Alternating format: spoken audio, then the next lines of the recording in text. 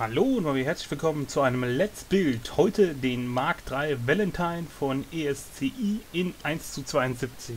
Ein ziemlich alter Bausatz, der auch äh, später von Italeri übernommen wird und ich glaube auch so von denen noch zu bekommen ist.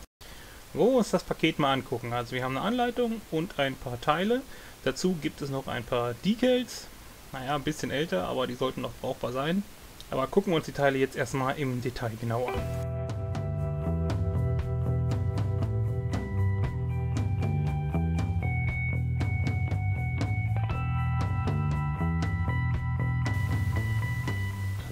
Packen wir das Ganze am besten mal aus. Hier ist auch noch schön zu sehen, Made in Italy, also noch ein wirklich italienisches Teil. So, kommt mal raus jetzt hier.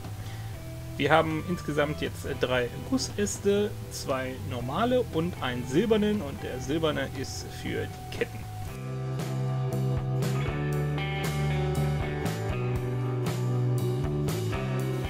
Fangen wir mal mit den Laufrollen an. Die sehen an und für sich ganz gut aus. Der Detailgrad ist ausgeprägt. Und ich denke, den kann man auch gut bemalen hinterher. Dann das obere Teil von der Wanne, das sieht auch noch sehr brauchbar aus. Ein bisschen Flash dran, aber das sollte gehen. Sowie dann noch die anderen Teile, die alle eigentlich die komplette Wanne bilden. Der zweite Ast, das ist der Turm so auch ganz nett, ein bisschen Flash, dann alles ein bisschen grob, aber eine Figur dabei, die aber leider nicht so besonders gut aussieht. Also ich denke nicht, dass ich die benutzen werde, weil die einfach zu grobkörnig ist.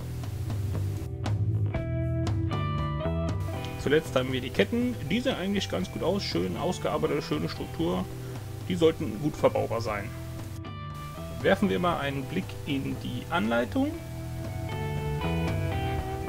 Also es fängt eigentlich wie immer an mit dem Laufrollen zusammenbauen, ein bisschen äh, aufwendiger. Ist aber diese typische Valentine-Struktur. Danach kommen die Ketten drum auf beiden Seiten und dann wird das Ganze an die untere Wanne montiert. Die Oberteile kommen drauf mit noch ein bisschen Kleinkram. Ja, dann die Rückseite quasi, die Heckklappen und alles wird aufgesetzt und der Turm wird gebaut. Schön dargestellt, man kann auch ein Innenleben bauen. Zuletzt wird alles draufgesteckt und schon haben wir einen fertigen Panzer, den wir so bemalen können. Aber ich glaube, da werde ich mir eine andere Variante suchen, als die, die jetzt hier auf dem Beispielbild ist. Es geht los mit Schritt 1. Die entsprechenden Teile habe ich mir schon mal rausgelöst und die werde ich jetzt versuchen zusammenzubringen, auch wenn das Teil ein bisschen schief ist. Naja, das wird schon funktionieren irgendwie. Dafür benutze ich wieder den Extra-Tin, der trocknet schnell und ist für so Kettenlaufarbeiten eigentlich ideal geeignet.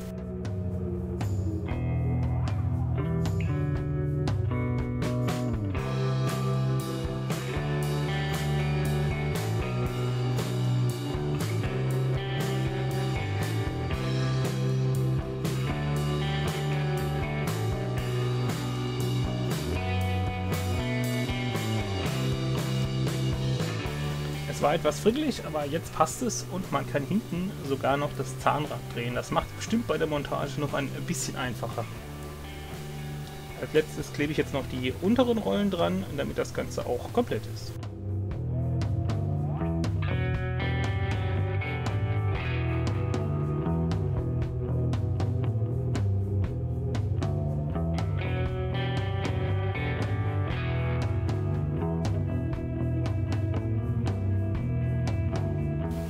Ganze ist zusammengebaut. Die Ausrichtung ist ein bisschen schwieriger, dass das gerade hinzukriegen ist. Aber ich glaube, so geht's. Und diesen spaßigen Schritt mache ich jetzt mit der anderen Seite genauso. So, die sind dran. Als nächstes soll man die Ketten montieren, aber ich mache das immer erst, wenn ich das in den Rahmen geklebt habe. Ich finde, es ist einfach einfacher, weil man, man kann es besser anfassen und deswegen habe ich es auch direkt schon mal so zusammengeklebt, bevor ich dann jetzt die Ketten dran mache. Was man sieht, es ist nicht äh, ganz gerade, also die Passgenauigkeit lässt dann hier auch ein bisschen zu wünschen übrig. Jetzt muss ich mal gucken, ob ich das Ganze irgendwie ausgeglichen bekomme. Was ich jetzt auch noch gesehen habe, also ich habe das Oberteil mal draufgesetzt, das passt auch nicht so hundertprozentig. Also es entsteht ein Spalt, entweder vorne oder hinten. Da muss ich mal sehen, ob ich das irgendwie hinkriege, dass es nicht ganz so bescheuert aussieht. Machen wir aber erstmal mit den Ketten weiter. Wir sehen hier, was wir für Teile brauchen. Also vier von den kleinen da, vier von den kleinen da und nochmal ein kleines weiteres Teil. Es passt platzmäßig, also äh, es sind sogar noch vier extra pro Seite und ich denke, da werden wir bestimmt auch mindestens zwei von brauchen, damit das schön ja, eine Rundung gibt. Weil ich habe irgendwie bis jetzt noch nie geschafft, das in der vorgegebenen äh, Menge an Teilen hier hinzubekommen. Ich fange wie immer oben an mit dem Teil, da ist mein Schlusspunkt und beginne dann vorne mit der Rundung. So, da haben wir die Rundung. Also das sieht ganz okay aus, hat dann auch wieder ein Teil mehr gebraucht. Wichtig ist halt, dass es von ja, dieser Rundung passt, dass es realistisch aussieht und nicht irgendwie so kantig. Aber so passt das schon mal ganz gut, auch wenn es nicht so hundertprozentig gerade ist. Einmal drumherum, alles. Ich finde, das sieht ganz gut aus. Es, wie gesagt, die Laufrollen, die waren leider nicht ganz gerade, aber es macht doch was her und ich denke, so kann man es lassen. So, ich habe noch äh, ein Teil übrig, also ich habe sogar noch mehr gebraucht. Und jetzt werde ich das Ganze nochmal auf der anderen Seite machen. Das wär's. Die andere Seite ist auch drauf. Die Rundung, finde ich, ist auf beiden ganz gut geworden.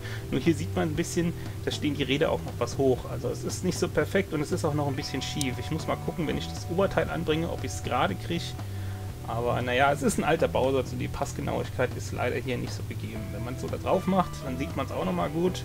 Einmal sind die Ketten was schief und ich habe diesen Spalt. Den muss ich jetzt irgendwie mal versuchen, da rauszubekommen. Etwas schieben und drücken später habe ich mich so entschlossen, ich mache es vorne bündig und hinten ist leider ein kleiner Spalt entstanden. Da muss ich mal gucken, ob ich den irgendwie zugespachtelt kriege oder nicht mehr so auffällig den zu sehen habe, sowie dann auch nochmal das Teil irgendwie gerade zu bekommen. Also es ist nicht der idealste Bau, das kann man jetzt schon mal sagen, wo man jetzt die Hauptschritte quasi gemacht hat. Widmen wir uns jetzt ein bisschen der oberen Wanne. Da habe ich mir schon ein paar Teile rausgesucht, und zwar einmal dieses vordere Mittelteil und die beiden Klappen. Das vordere Mittelteil hatte eine Ausbuchtung, die da rein sollte, hat aber natürlich nicht gepasst. Da habe ich es einfach kurzerhand abgeschnitten und klebe so fest. Es funktioniert auch und man sieht den Spalt dann trotzdem nicht.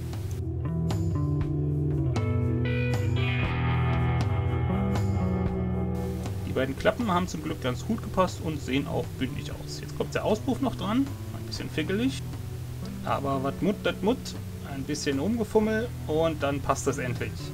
Sieht auch ganz brauchbar aus so.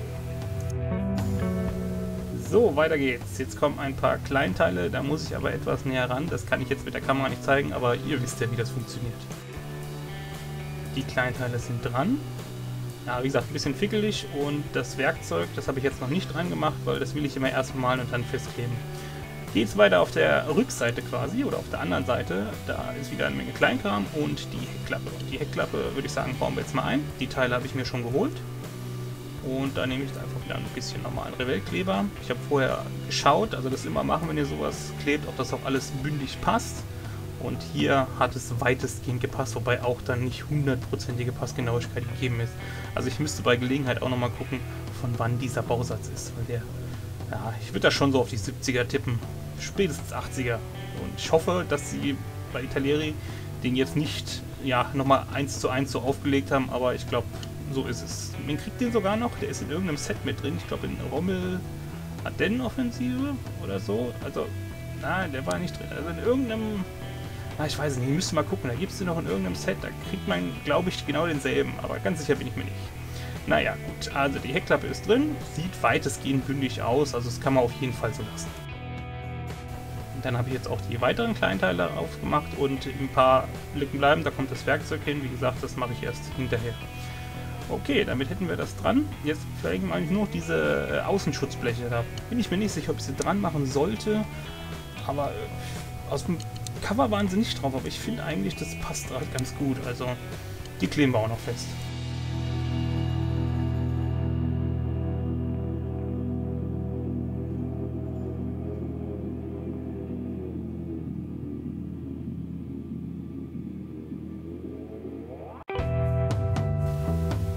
So, die beiden Teile sind dran.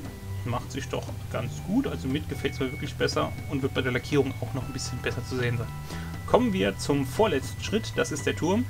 Hier schon, wie gesagt, mit einem Innenausbau, der ist möglich, aber äh, pff, wofür? Ich meine, sehen tut man es nicht, die Klappen werde ich nicht offen darstellen, dafür ist es vielleicht gedacht. Ich baue den nochmal zusammen.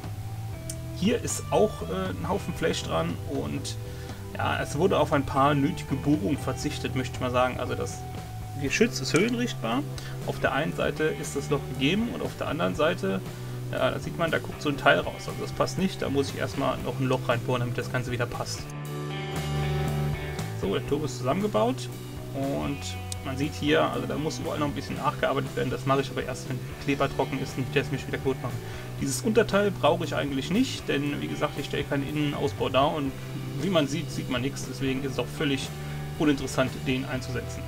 Jetzt kommt noch das Geschütz dran. Da wird vorne ein Stück abgeschnitten oder herangesetzt. Also ich bin mir da nicht ganz sicher, habe aber mal im äh, Internet geguckt und so wie es ist von der Länge passt es eigentlich ziemlich gut. Einziges Problem ist, hier man sieht es, äh, wirklich reinpassen fest tut es nicht. Also das muss man jetzt gut ausrichten und auch gut trocknen lassen, dass das Geschütz auch schön gerade ist. Dazu nehme ich natürlich wieder extra Sinn, weil der trocknet schneller und ist für so Ausrichtarbeiten, finde ich, so mit am besten geeignet. So, also justieren, also ist gar nicht so einfach.